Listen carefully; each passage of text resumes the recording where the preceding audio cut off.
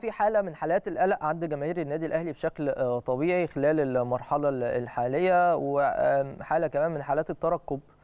وانتظار للإعلان عن المدير الفني الإعلان عن الصفقات آه، كل الأمور اللي بتشغل بال الأهلاوية في كل آه، مكان. اللي قلقانين بشكل طبيعي جدا على فرقتهم وليهم كل الحق إن هم يقلقوا بالتحديد بعد الموسم المنقضي اللي الأهلي ما كانش موفق فيه آه، اطلاقا يعني على آه، كل يعني ال- البطولات أو من خلال كل البطولات اللي شارك فيها الفريق بخلاف العوامل اللي أثرت وكلام من ده. لكن في كل الأحوال إن شاء الله بإذن الله الفترة اللي جاية يكون في أخبار سعيدة بالنسبة لكل ال- الأهلاوية. لما نيجي كده نتكلم عن شق شق هتلاقي إن ناس كتير جدا بتحاول تجتهد خلال المرحلة الحالية بخصوص اسم المدرب وده أمر معتاد. يعني ناس دايما بتجتهد وياما سمعنا على مدار فترات الأهلي كان بيجيب فيهم آه، مدربين تلاقي ناس- ناس تقول لك أسماء وتتفاجئ تلاقي اسم بعيد تماما تماما عن ما تم تداوله في الإعلام المصري بيكون هو المدير الفني آه، بالنسبة للنادي ال- الأهلي يعني. ففي سرية تامة في القصة دي بالمناسبة يعني في سرية تامة في موضوع المدرب. محدش لسه عارف مين هو المدرب اللي جاي. لكن في إيه؟ ده هنا دلوقتي بتكلم على حتة المدرب لسه حاجة على ناحية ال- الصفقات. لكن في أكيد مجهود كبير جدا بيبذل ده طبيعي ومنطقي جدا إن أنت لازم بتشتغل ولازم مجهز نفسك بأسماء المدربين آه، بأسماء آه، اللاعبين اللي هتتعاقد معاهم كلام من ده.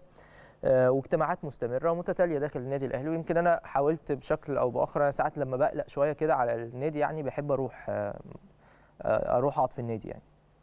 أحاول أطمن أقرب من الصورة بشكل أكبر. رحت في الحقيقة يوم الأربع اللي فات آه، وقلت أتابع الوضع يعني يعني أحاول أقرب من الصورة آه، أطمن يعني. الواحد ينقل الصورة برضو لجمهور الأهلي القلق جدا بكل تأكيد. يعني الواحد شفت آه، إن في اجتماعات بشكل مكثف جدا آه، بحضور طبعا الكابتن محمود ال- الخطيب اللي بنعزيه مرة تانية في وفاة شقيقته.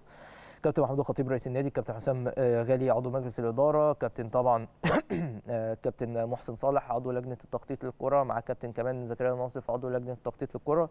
وكان في بعض الفترات أثناء الاجتماع ده يعني اللي كنت موجود آه، يعني في التوقيت بتاعه يعني كان بيحضر أمير توفيق مدير إدارة التعاقدات يعني. فمن المنتظر إن شاء الله بإذن الله إن خلال أيام يتم الإعلان عن المدير الفني.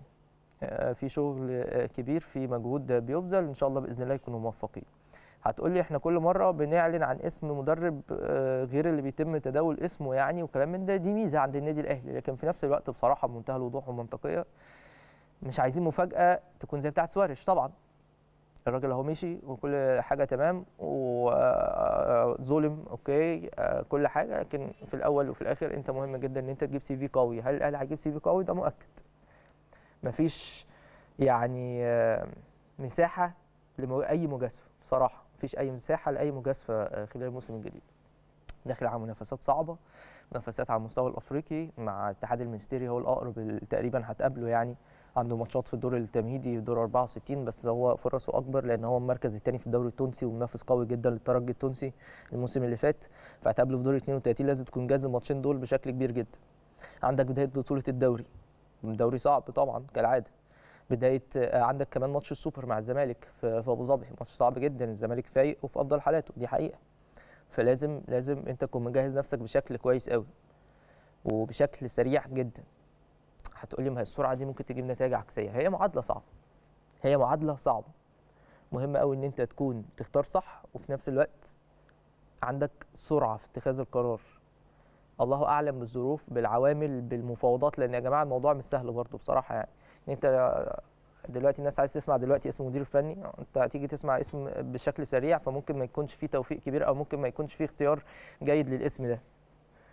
فلازم لازم أنت تكون دارس كويس قوي الاختيار اللي أنت هتختاره للنادي الأهلي عكس اللي حصل مع موضوع آه، سواريش فمن المؤكد إن هيكون سي في كبير من المؤكد إن شاء الله بإذن الله يكون مدرب كويس. ومن المؤكد بإذن الله واحد أحد إن يتم الإعلان خلال أيام آه، قليلة قادمة عشان يتم الاستعداد من خلال آه، فترة آه، إعداد مهمة للفريق الأول لكرة القدم بالنادي ال- الأهلي. سواء بقى من خلال معسكر خارجي من خلال معسكر داخلي كل الأمور دي النادي هو اللي يعلن عنها آه، بشكل رسمي. فده على صعيد المدير